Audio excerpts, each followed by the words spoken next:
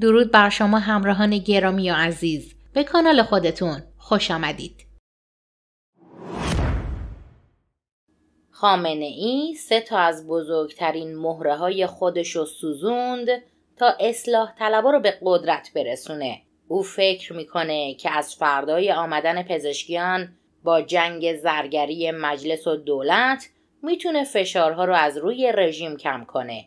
اما یادتون باشه که بزرگترین اعتراضات ایرانمون زمان سر کار بودن اصلاح طلبان اتفاق افتاده. به غیر از جنبش و انقلاب محسا امینی. دیروز بالای 85 درصد مردم رأی ندادن و جمهوری اسلامی الان تا گردن تو فاضلاب فرو رفته. در شرایطی که مشتبه خامنه ای نشان داد که بدون هیچ ترسی حاضر به آمارسازیه. اما نکته اصلی این نیست. ببینید خارجی ها با نفوذشون داخل دستگاه های اطلاعاتی رژیم آمار واقعی مشارکت رو در میارن و این مسئله روی معاملاتشون با رژیم تاثیر داره. و الان بحث اصلی اینه با این وضعی که پیش آمده خامنه ای به همه ثابت کرده که حذف رئیسی کار خودش بوده. همه می‌دونیم که چرا حذف شد. الان بحث ما اینه که اصلا چرا جلیلی و پزشکیان گزینه های اصلی مطرح شده بودند و نتایج انتخابات چرا باید به این شکل مهندسی می‌شد. شخصا از روز اول و دور دوم اعتقادم بر این بود که اگر جلیلی توسط خامنه ای انتخاب بشه یعنی جمهوری اسلامی دیگه هیچ راه برگشتی براش نمونده و تو سیاست خارجی کاملا شکست خورده و داره میره برای ساخت کره شمالی اسلامی که از نظر تاریخی، فرهنگی و جغرافیایی داخل ایران رو نمیشه کره شمالی ساخت. در خصوص پزشکیان هم معتقد بودم که رژیم اگر بخواد راهی که خاتمی طی کرد و جمهوری اسلامی رو از حمله غرب آمریکا نجات داد بره پزشکیان رو میاره بالا که همینطور هم شد. یعنی ما الان احتمالا شاهد بسته شدن قراردادهای صلح و قراردادهای ضد برنامه اتمی جمهوری اسلامی خواهیم بود. چون با روی کار آمدن راستگرایان داخل اروپا و زمین خوردن روسیه و تضعیفش و خالی شدن پشت رژیم توسط چین و احتمال به قدرت رسیدن ترامپ داخل آمریکا احتمال سقوط جمهوری اسلامی خیلی بالا میره. بنابراین به قول مالکش اعظم باید براش چاره ساخت. حالا بیایم ببینیم قرار چه اتفاقی بیفته.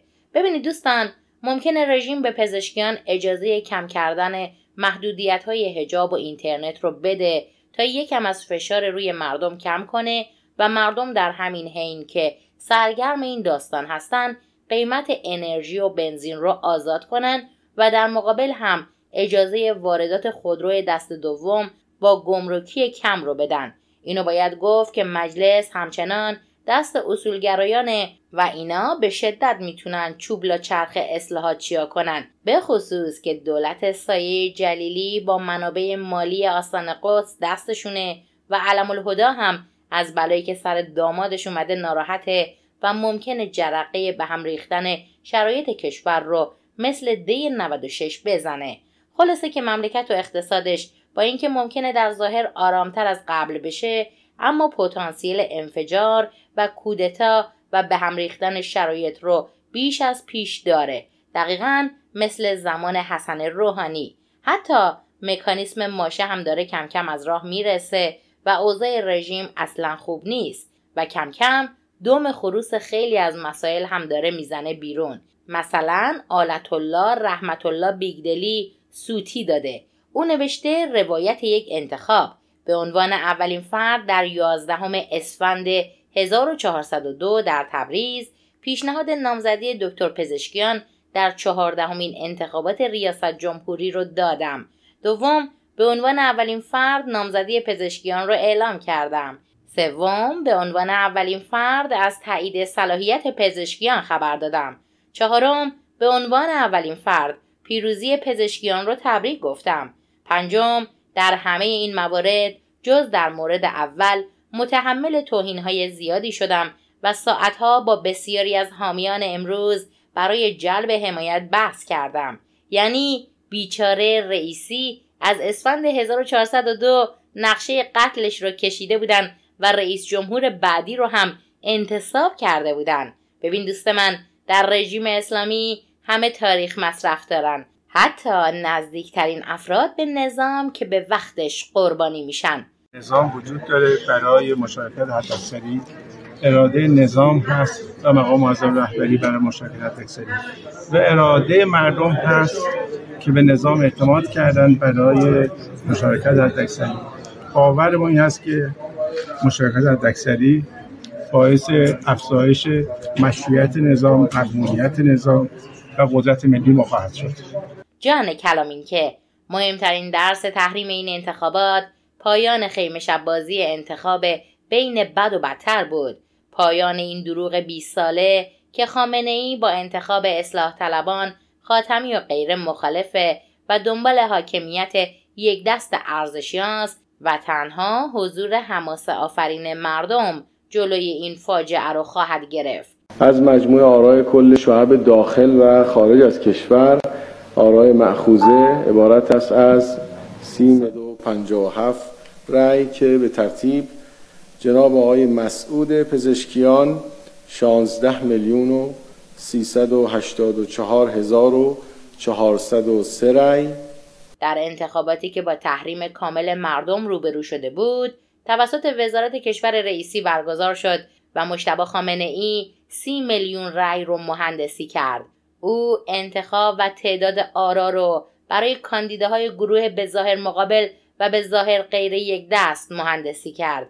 در خرداد 75 و بعد از میکنوس و قطع رابطه اروپا با رژیم خامنه ای نیاز به گفتگوی تمدنها داشت. شرکت من و تو زمین ساز بود. نمانه در زمان روحانی کشتار جنبش سبز رو سرپوش گذاشت و رئیسی خطر خاصی نبود. امروز مشکل ترامپ و کشتار قیام محساس. او نیاز به ما داشت. که دیگه بازی نخوردیم. اما نکته قابل توجه اینجاست که پوتین از همه زودتر فهمید که سرنگونی بالگرد رئیسی کار کی بوده. اگر یادتون باشه در دو ساعت اول شورای امنیت ملی روسیه با حضور پوتین تشکیل جلسه داد. ببینید مخبر در این هفته علکی روسیه نرفته بود. حالا دولت های قبل چندین نفر از مرخصی می‌گرفت می‌رفتن تبلیغ می‌کردن. این دولت با اینکه دولت مستقر بوده یه نفر رفته قانونی مرخصی گرفته رفته تو ستادی حالا این کجاش مسئول نه نه قانونی می‌تونه چیز بگیره مرخصی بگیره. و در واقع در ستادهای همین الان هم از هر دو طرف یه سری نیروها که در دولت بودن مرخصی گرفتن فعال هستن. ما دولتی هم داریم که در به کاندیدای در ستاد کاندیدای دیگه مشغول تبلیغ است